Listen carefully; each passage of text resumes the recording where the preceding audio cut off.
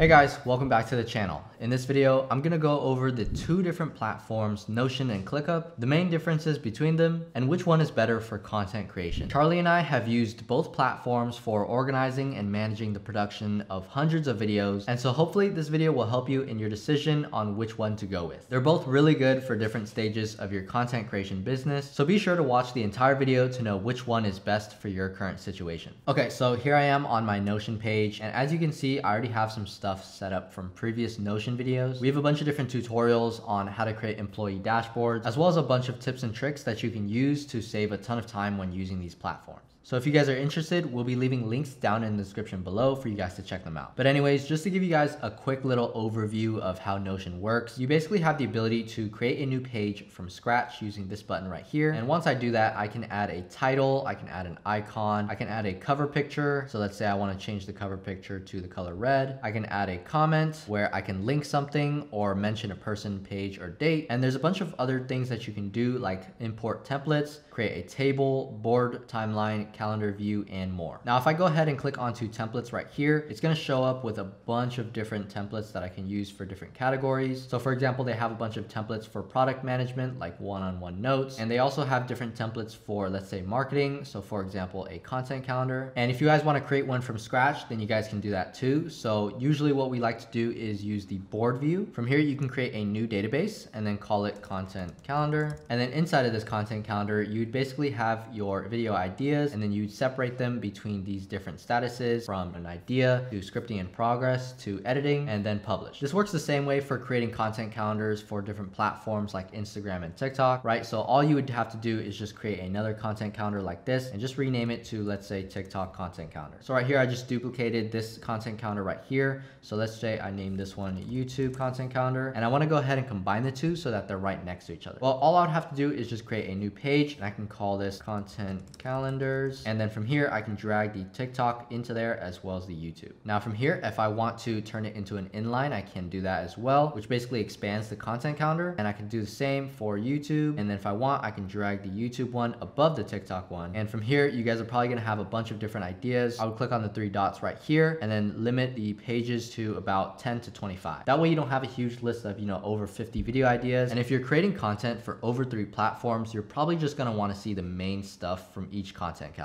Now from here, another thing that you can do is if I turn it back into a page, I can make it actually go side by side. And then if I turn it back into an inline, then it'll turn it into a side by side board view. So let's just undo that. And let's say that I also want to make another one for Instagram. So I'll just go ahead and hold option and drag the TikTok one to make another one. And in here, I'll just go ahead and rename this to Instagram. And I'll just go ahead and drag this to the side of each one. So that is three columns. And then from here, I can click on the six dots again and then turn them all into an inline. And then if I go ahead and click on the three dots in the top right hand corner and click on full width. That'll expand everything into the full page. And so I'll be able to look at the content calendars for each different platform on just one page. And this works for pretty much everything, right? Like if I wanted to, let's say, have this as the YouTube SOPs, I could just go ahead and drag this into the content calendars as well. And then you could see that it enters in right here. Now, another thing that you might want to do on Notion is you might want to create a homepage. So it would look something like this where you have your homepage with all the stuff that you need to look at in terms of your employees, life goals, monthly goals, and yearly goals, as well as anything else that would be important to show at the beginning of the day. That way you could start off your workday just by looking at your homepage so you can get a good overview of everything that's going on instead of having to click onto each different dashboard or content calendar to see what needs to be done in the business. Another thing that we used Notion for in the past was to create employee dashboards. So for example, I have one from a previous video that I did where as you can see, I just named it Joey's dashboard. So this would be my own. And this is a great tool for being able to organize all of your tasks and delegating them efficiently to each employee. And once you build out a bigger team, then you could just create a new page called team, and then you just have to drag each person's dashboard onto that team. And if I go ahead and duplicate it, I can create another one for Charlie's. And if I go back, you can see that it won't let me turn it into an inline. And that's because it's a separate custom page. It's not just a board view, right? So right here, I can type stuff underneath it. Whereas right here, if I go back to the content calendars, it wouldn't be able to type anything underneath these board views. So if you want to do that for your team dashboards, all you would have to do is just create an actual board view. And then right here, I'll just go new database and then call it Joey's dashboard. And then from here, if I drag that onto the team and I go ahead and click on the six dots again, you'll see that now I can turn it into an inline. Then you would basically do the same thing as what you did with the content calendars and just organize all of your team members under one Notion page. Now, a really cool thing that you can also do with Notion is create different views. So right here, you see that there's a board view going on right now, which is where you click and drag to change the status of the task. But I can also go ahead and click on the plus button right here and then add a new view such as a table view,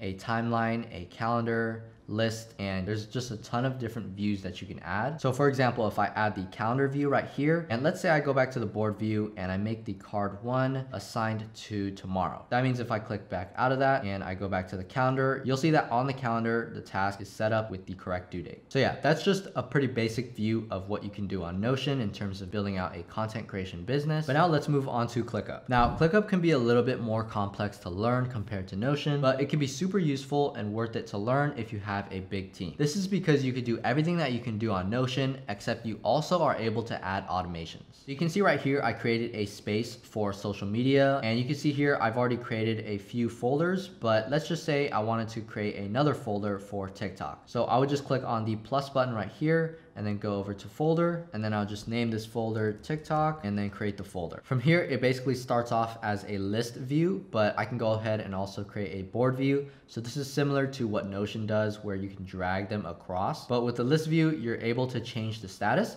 by just clicking on the square right here and changing it to the different statuses. I won't go too much into detail about how to change these different statuses and how to build out a content calendar on ClickUp because we already have tutorials on the channel about that stuff. But something important that I did want to go over was automations because if you have a bigger team, you probably want to switch over to ClickUp because with these automations, you can save a ton of time and not have to worry about micromanaging everybody on your team. So for example, right, if we go onto our TikTok folder, we obviously have this list right here, which would be the content calendar. So I'm just gonna go ahead and rename this to TikTok content calendar. And from here, if I click on the automate button, I can go ahead and always assign the tasks to anybody on my team. So in this case, I'm the only person on this workspace. So I'll just go ahead and assign it to myself. And then I'll also add myself as a watcher, which basically means that anytime there's a change made inside of this list, I'm gonna get a notification on my ClickUp telling me what was changed. So if I just go ahead and create a test task, so I'm just gonna do TikTok idea one, you guys can see that it automatically assigned me to the task. And from here, if you wanna take it to the next level and make your content business a lot more efficient, then what I would recommend is actually creating a custom automation. So you just go back to the automation button and then click on add automation right here. And this is where you can start making when then actions. So let's just say, for example, that if a status changes from being an idea to scripting in progress, then it's gonna change the assignees to the scriptwriter. Then I can also add a comment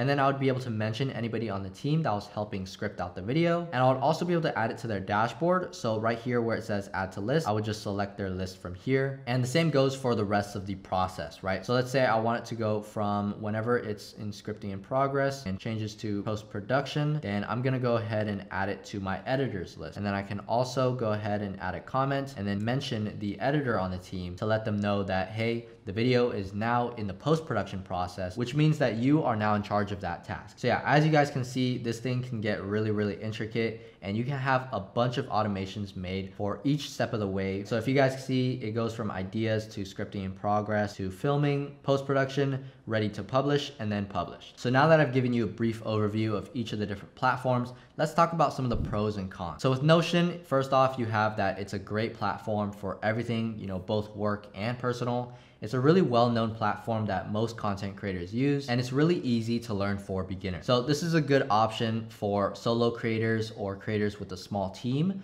where you can manage everything by yourself. But if you want to do things like automations, then it would probably be better to switch over to ClickUp. We switched over to ClickUp last year, and it's been a game changer for our entire content creation process. It was a little bit harder to learn compared to Notion, but I would say that was definitely worth it, especially now that we have over eight people on the team working on different different things at the same time. Automations like the ones that I showed you help out so much in the business and make things so much more efficient. That way, if you're managing a bunch of people on your team, you don't have to keep on checking in with them. And that way, there's not as much micromanagement. So in conclusion, here's what I think. You really can't go wrong with either platform. And if you're just starting out with creating content, then I recommend using Notion and then moving on to ClickUp once you build out a big team. Now, when you decide to move from Notion to ClickUp, you can easily import your CSV files so that you can get all of your data from Notion onto ClickUp, which we have a tutorial on the channel that can teach you exactly how to do that. Anyways, I hope this video was helpful, and if it was, please be sure to leave a like so that this video can also reach out to other people who could benefit. This channel is dedicated to helping out newer entrepreneurs and content creators build out their systems and business. And if that sounds like something that you're interested in, please consider subscribing so that you can stay up to date with new videos every week. Anyways, that's it for now. Thank you guys so much for watching, and I'll see you in the next video.